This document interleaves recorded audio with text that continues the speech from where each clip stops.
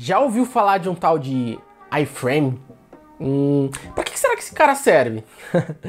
Calma que o nome é complicado, mas eu vou te mostrar que é muito simples usar iframe em HTML. E hoje nesse vídeo eu vou te ensinar como que você coloca o YouTube dentro do seu site, como você coloca mapas dentro do seu site ou até colocar um site dentro do seu site. Beleza? Então fica até o final que eu tenho certeza que você não vai se arrepender. O vídeo de hoje tá muito legal. Eu sou o Rodolfo Mori e seja bem-vindo a mais um vídeo do canal.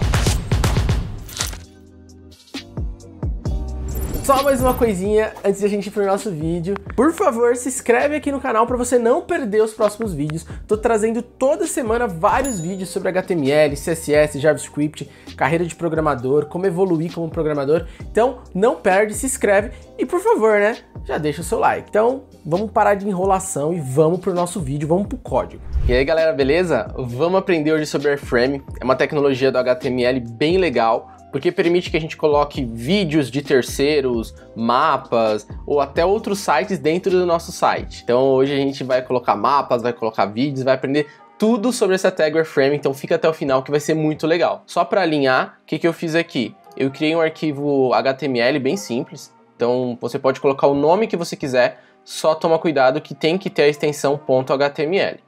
E aí eu cliquei duas vezes, abri esse arquivo e ele abriu no meu navegador padrão. No caso do meu computador é o Google Chrome. Tá aqui a minha página HTML e tá em branco porque não tem nada. Então vamos começar. Para começar a gente digita aqui a tag airframe abriu, fechou a tag. Se você não sabe o que é uma tag, tá perdido nesse vídeo, calma, que aqui no canal eu tenho um vídeo explicando tudo sobre HTML. Então, só eu deixei o link aqui embaixo, é só você ir lá assistir esse vídeo que você vai entender tudo que está acontecendo aqui. Aqui na tag frame a gente abre a tag, a gente fecha, e aqui dentro da primeira tag a gente vai colocar um cara chamado SRC. SRC é a abreviação de source, ou seja, origem qual que é a origem do nosso site, ou seja, que site que eu quero colocar dentro do meu site. Então eu vou colocar aqui o meu e-book, então, ele é https dois pontos barra barra rodolfomori.com barra ebook. Inclusive, se você não baixou, a hora é agora. É de graça, galera. Vai lá, que vai te ajudar muito. Eu coloquei aqui meu source, eu vou salvar, vou dar um refresh aqui, vou dar um F5, atualizar o meu Google Chrome e tá aqui o meu site, ó. Se eu for dando scroll, tá aqui o meu site. Só que tá muito pequeno, muito pequeno. Então vamos aumentar a largura a altura. Vamos lembrar que a largura é o width. Eu vou colocar aqui 500, 500 pixels. Eu não preciso colocar a unidade de pixels, que ele já entende. E vou colocar a altura também, que é o height. Vou colocar 500 pixels também. Só uma coisa que eu já falei em outros vídeos, mas vou repetir. Width, que é a largura em inglês, é TH. Height, que é a altura, é HT. Então cuidado que se você errar alguma letrinha, não vai dar certo. Então salvei aqui. Vou reiniciar meu Google Chrome aqui, vou dar um refresh na página e tá aqui, ó. Agora sim, ó, o tamanho ficou bem legal e a página tá bem legal também. E aí se você vê uma coisa bem interessante é o seguinte, você pode continuar escrevendo no seu site, ó. Inclusive tem um vídeo bem legal explicando todas as tags de texto. Então vou deixar o link aqui embaixo para vocês também assistirem. Então se eu reiniciar, tá aqui o meu site. Então eu tenho o meu site e dentro eu coloquei outro site. Mas isso funciona para qualquer site. Vamos tentar com o Google. Então eu vou colocar o Google aqui. google.com.br. Salvar. Dei um refresh. Hum, se você ler o que está escrito aqui, ó, fala que o Google ele recusou a conexão. Então, essa funcionalidade Wireframe, ela pode ser bloqueada. Por exemplo, o Google bloqueou o Google não quer que ninguém coloque a página do Google dentro de outra página. Então, alguns sites são permitidos e outros não. Agora eu vou mostrar alguns sites que são permitidos e que são bem usados. Então eu vou apagar todo mundo aqui.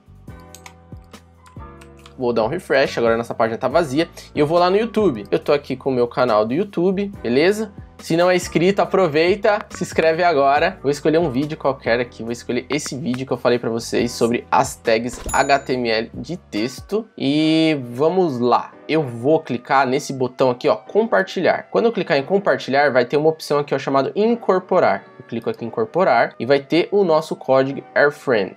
Então, eu posso escolher até em quantos segundos vai começar. Vou deixar começando do começo mesmo. Eu vou pegar e vou copiar todo mundo, copiar tudo, todo esse código.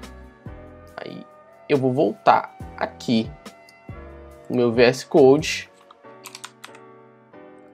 Coloquei minha tag aqui, salvei. Deixa eu organizar aqui para a gente ver melhor o que está acontecendo. Então, ó, o YouTube já colocou para mim um tamanho, uma altura, uma largura, já colocou o meu source, já colocou um título, já colocou que ele não quer borda, colocou algumas configurações, ó, permite autoplay. No vídeo passado do canal sobre vídeo, eu expliquei um pouco sobre o que, que é esse autoplay, o que, que é o Picture in Picture.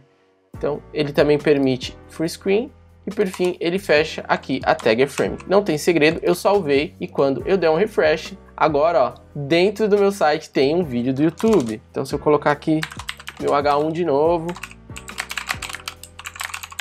vou salvar, vou dar um refresh aqui e você pode ver que tem um vídeo do YouTube aqui dentro do meu site. Eu consigo rolar ele normalmente. O Google não permite o site do Google, mas o YouTube permite. Então, a gente pode ver que o vídeo aqui tá rolando normalmente. E é isso aí. Mas não acabamos ainda. Eu vou deletar aqui o meu YouTube. Então a gente já viu que a gente consegue fazer isso com vídeos. E diversos e diversos sites permitem isso.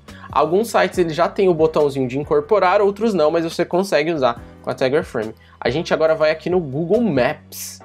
Aqui eu estou no Google Maps eu escolhi aqui um ponto no meu mapa, escolhi aqui o Parque do Ibirapuera, e quando eu escolho um ponto do meu mapa, ele vai abrir essa aba lateral à esquerda, ou às vezes embaixo para você. E aí vai ter um botãozinho chamado compartilhar, eu vou clicar aqui em compartilhar, e aqui vai ter uma opção de incorporar um mapa. Eu clico aqui e ele vai gerar para mim também o meu código já com Airframe. Eu vou copiar, clicar aqui em copiar URL, vou voltar no meu site, exprimir um pouquinho aqui, vou colar Vou dar uma organizada, jogar em outra linha.